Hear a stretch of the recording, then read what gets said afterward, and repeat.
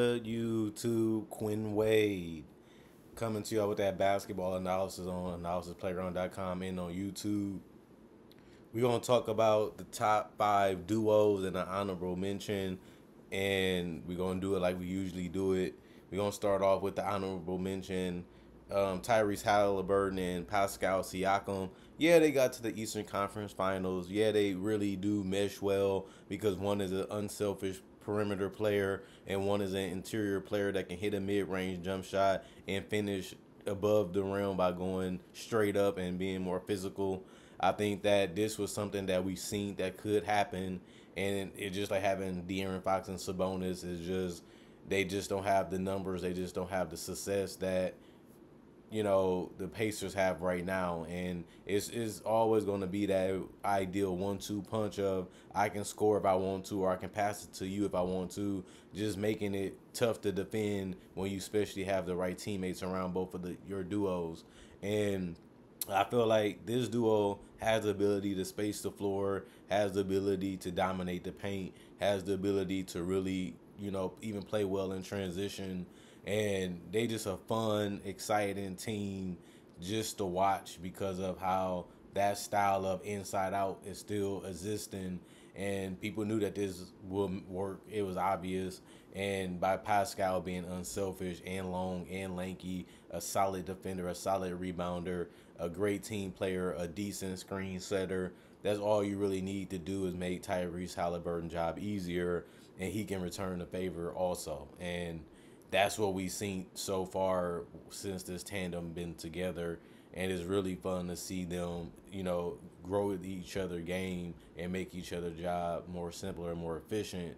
And if you're going to be able to do that and have the playoff success then you're going to be one of the best duos in the league especially when you look at them as all nba players and all-star players like they have been in their career. And now they can do it together and possibly continue to make great runs you know, in the postseason, which is what it's all about. Your your regular season just preps you for what you need to remember, what you need to do, and how you need to play against certain teams and certain matchups, so you can be able to win the championship. But you know, they still figuring that out. Number five, Dame and Giannis. I know we didn't see the most of them in the playoffs as Giannis was injured and Dame went out injured, which actually helped Tyrese and Pascal a lot made the run that they made. But you know, you can't really get mad that they took advantage of it because that's what they have to do. That's what they're supposed to do. And I feel like this team has a little bit more that they can show us, a little bit more that they can give us. But Giannis is so dominant as a player, as a 30 and 10 player, as a guy that is a solid passer and a great defender still for the Milwaukee Bucks. I would be crazy not to put this as a great duo, even if they took that last slot to make it to this duo being great. It just shows you that one player can make all the difference in the NBA, and that's why I have to put them at number five because Dame is still a clutch player. He is a guy that can still take over the game. He is a guy that is a willing passer, especially to a guy like Giannis, who is one of the best players in the NBA, especially top five, top three best players in the NBA right now. And of course, you want that relationship to work because it can get you a championship, especially if you continue to do your part, which Dame really did play well to me, in my personal opinion, in the playoffs, and the numbers kind of back that up.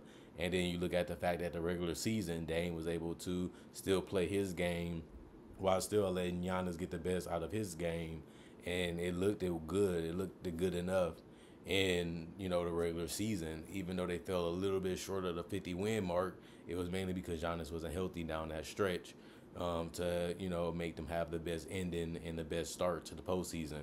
But other than that, when you look at the fact that one guy can't be guarded and the other guy can play off the fact that he can't be guarded and still get his isolation and still get his his moves, and you still can play defense to help the other guy because you actively and cover a lot of space, it makes sense why this duo ended up getting together and you know now they want to make a little bit more noise compared to what they did last year and that's motivation for them to come back better. Another one that people gonna sleep on is bam and jimmy because they made it to two nba finals and i know they came up short. I know they were still fun and competitive. They did the things that they could do. They tried their hardest. They just a little bit more talent they can be able to achieve that goal, possibly depending on what the fit is and how guys play in the playoffs. Because it's about your superstars playing like superstars and your role players stepping up in those moments that you know you need them to do in those predicaments in those situations. So Jimmy Butler, you know, play well and continue to play well, just like Bam on both ends of the court.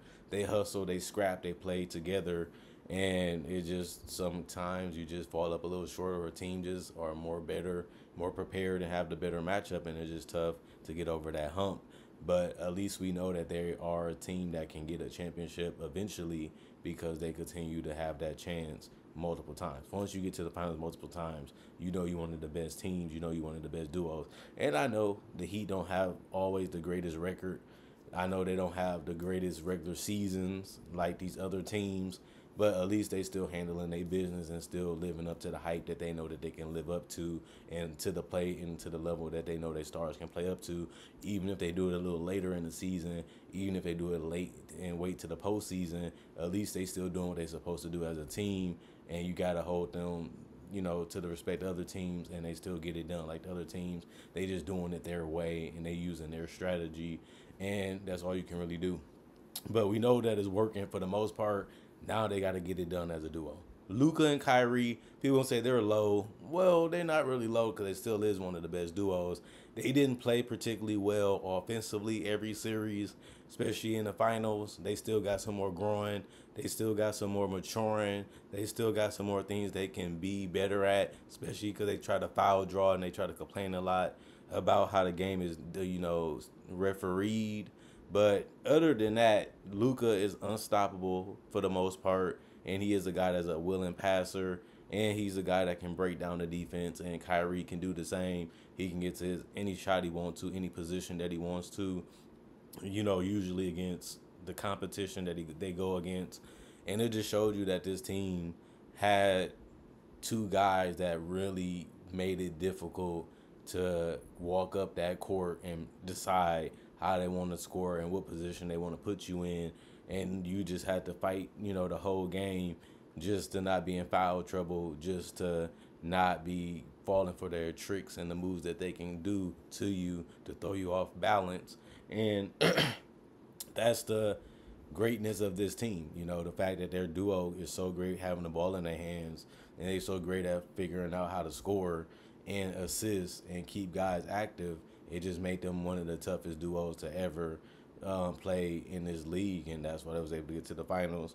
And then Jamal Murray and Nikola Jokic. I know they lost in the second round, instead of the conference finals or the NBA finals, but it was only one season, and they had a great regular season, and they had a great postseason. They just couldn't deliver you know, the performances that they needed out of their duo to be able to get it done. And it was close. They got closer. They got kept trying to fight. They kept trying to play the best way they could. But they looked at gas. They looked at fatigue. They looked at tired. They looked at a little slow, and they they didn't really you know, do what they needed to do to get the job done, but they still played better than other duos. They still played the way they needed to play to put them in position to almost get to the conference finals. Plus, it's a team sport, not really a duo sport, but the duo do the bulk of the work.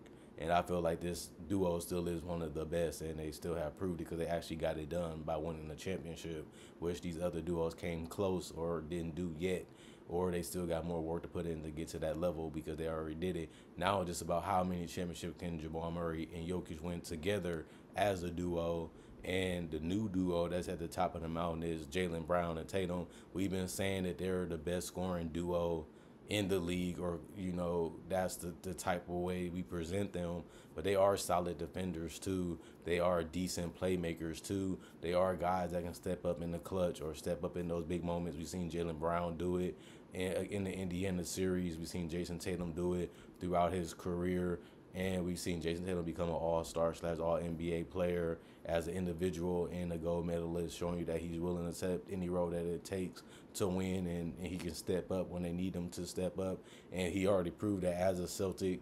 And we went to a lot of conference finals. We went to the NBA finals in 2022, and now we have the ability to possibly win multiple championships. As this duo keeps saying, sometimes grass ain't greener. So I'm gonna start keep rocking with Jaylen Brown and Jaylen Brown. So I'm gonna keep rocking with Tatum, and then they eventually got it done, and they still in their er, mid 20s, and they have an opportunity to win not one but multiple, possibly.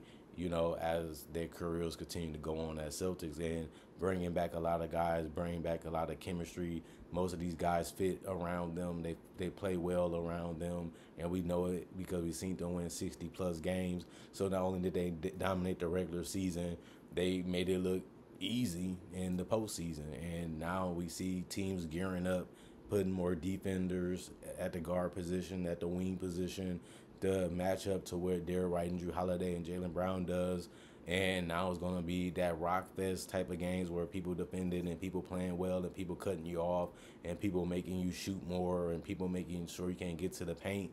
People playing one on one so they don't have to help as much, and it just makes the league better when you have to find a way to innovate and recreate or evolve what you do to stay dominant and great at the game. And since these young guys are still watching footage and studying the game and getting Olympic experiences, because Derrick White, Jrue Holiday, and Jayson Tatum was all at the Olympics. Only thing that was missing was Jaylen Brown, really, and because because is injured, and that's what they need too.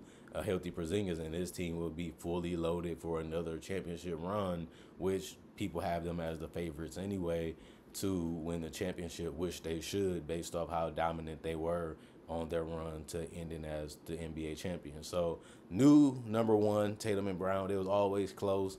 They was working. They was putting in their time. They was putting in the work. They was putting in consistency. They was putting in, you know, even Draymond Green said it's the time for the Celtics to win.